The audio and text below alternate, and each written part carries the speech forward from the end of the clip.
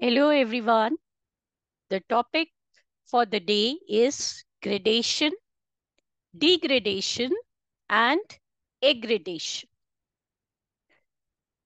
The landforms on the surface of the earth are formed by tectonic forces. We know this. We have studied it in the previous videos. The landforms on the surface are formed by tectonic forces.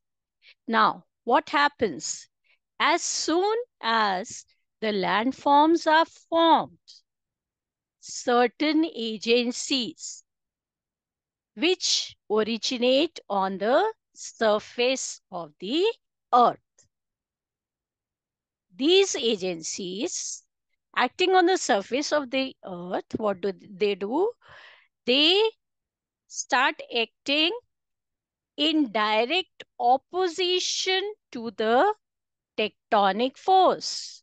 Tectonic forces have made these huge mountains great in height and the agencies, natural agencies which work on the surface of the earth, they immediately start to reduce the elevated features on the surface of the earth. This process is known as gradation. Process of gradation, what does it do? It starts reducing the elevated surfaces and tries to bring it to the level of the surface of earth. We can see in this picture as well, the process of gradation has immensely changed the topography here. Now, originally, this was the hill or the mountain where the gradation process has started and the, the hill has reduced. Gradation process, erosional mountain. The high mountain has been eroded and this is what the erosional mountain has come up to the level. Original mountain, reduced height, reduced almost to the level of the surface. These processes are the process of gradation. Now, forces of gradation they derive energy directly or indirectly from the sun. And gradation is responsible for the continuous modification of landforms on the surface of the earth. Gradation involves two processes, degradation and aggradation. Degradation includes weathering and erosion. About weathering and erosion, we will be studying today. Aggradation, we will study in the coming videos. So first, weathering. Weathering.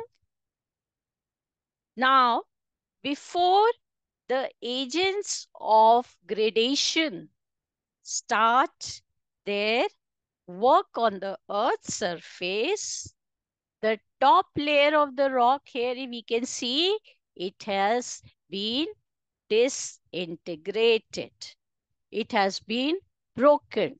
The top layer have started uh, it has got disintegrated, broken, and even the joints of the block, block rocks uh, closer to the surface, they too start getting disintegrated by the process of weathering.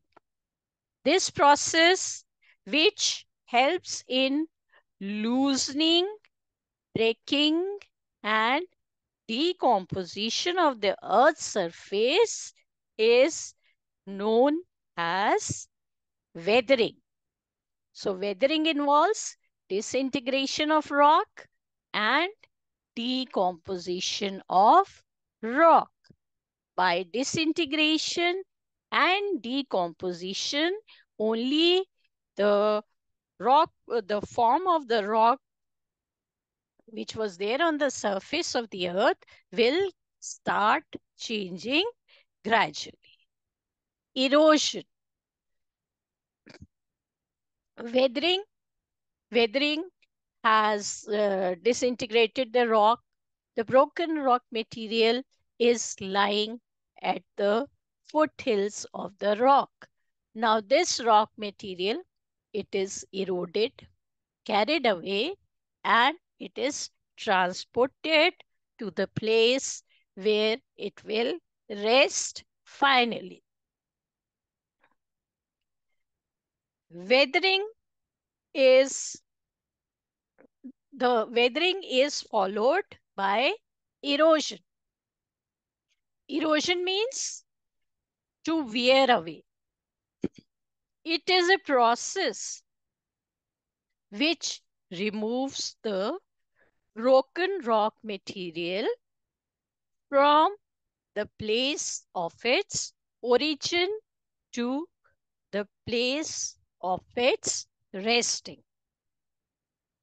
Now the agents involved in erosion are the, the, they are running water, ice, moving ice, wind, and the sea waves. All these agents of nature are responsible in erosion. That's all for the day. I hope you have understood these terminologies. Do hit the like and subscribe button. Thank you.